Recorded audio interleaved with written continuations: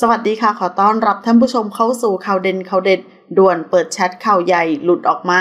งานนี้มีสะเทือนแน่ เมื่อวันที่ 11 พฤศจิกายน ดรแทนคุณ จิตอิสระรักษาการประธานคณะกรรมการส่งเสริม สิทธิมนุษยชน และความเสมอภาคระหว่างเพศ พักประชาธิปัตย์กล่าวถึงกรณีที่นายพิธาลิมเจริญรัตอดีตหัวหน้าพักก้าวไกล ให้ข่าวว่าเป็นผู้ประสานกับแรงงานที่หนีตายจากภัยสงครามที่อิสราเอล โดยส่งข้อมูลให้กับกระทรวงการต่างประเทศ ตอนแรกตนรู้สึกชื่นชมในความมีน้ำใจ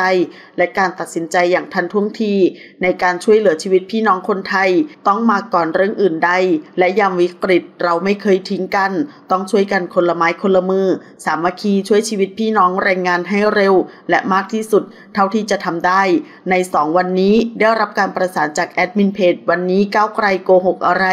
ส่งหลักฐานแชทไลน์และเฟซบุ๊กจาก หนึ่งในผู้ประสานงานจากแรงงานไทยที่ทนไม่ไหว กับพฤติกรรมก้าวไกล ว่าเคยประสานขอความช่วยเหลืออะไรเข้าไป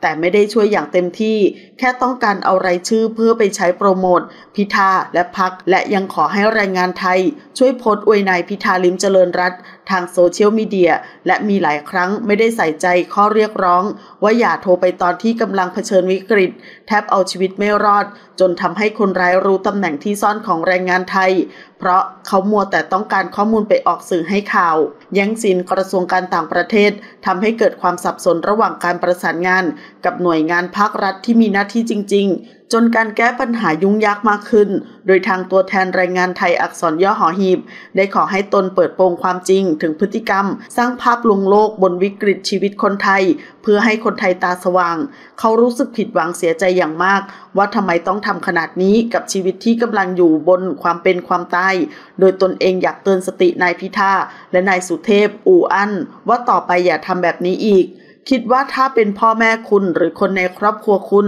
ติดอยู่ในสภาวะสงครามแล้วถูกนักการเมืองเร็วๆ ที่หวังเพียงแค่ต้องการให้ตัวเองดูดี แต่ทำให้ชีวิตผู้บริสุทธิ์เดือดร้อน วกคุณจะทำอีกไหม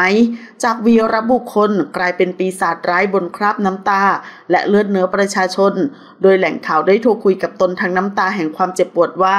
เสียใจมากที่ตอนแรกคิดว่าเขาคือความหวัง แต่กลับไม่ใช่ หลังจากได้ซีนแล้วเขาไม่ได้ช่วยอะไรอีกเลย และที่เจ็บปวดที่สุดคือ ต้องเห็นเพื่อนร่วมชาติเสียชีวิตลง โดยมีคนนำประเด็นเหล่านี้ไปแสวงหาผลประโยชน์ทางการเมือง ยังไม่น่าเชื่อเลยว่าจิตใจเขาทำด้วยอะไร ตอนแรกนึกว่าเขาจะมาช่วยด้วยความจริงใจ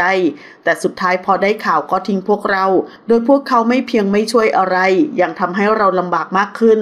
โดยตนขอให้เรื่องนี้เป็นสิ่งเลวร้ายที่สุดที่พักเก้าไกลจะทำต่อประเทศไทย โดยส่วนตัวตนไม่เคยอยากให้มีการยุบพักใด ๆ เลย แต่ตอนนี้ตนเข้าใจแล้วว่าทำไมถึงต้องมีกฎหมายยุบพักเพราะพฤติกรรมสร้างภาพบนคราบเลือดของประชาชน เป็นสิ่งที่เลวร้ายจริง ๆ ขอขอบคุณข้อมูลจากสยามนิวส์ขอบคุณค่ะ